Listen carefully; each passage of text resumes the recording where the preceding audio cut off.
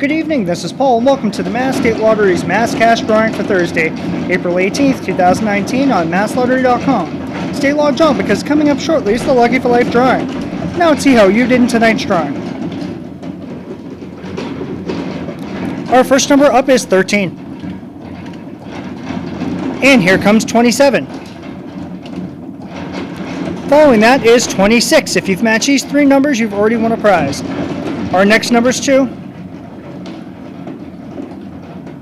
And finally, 21.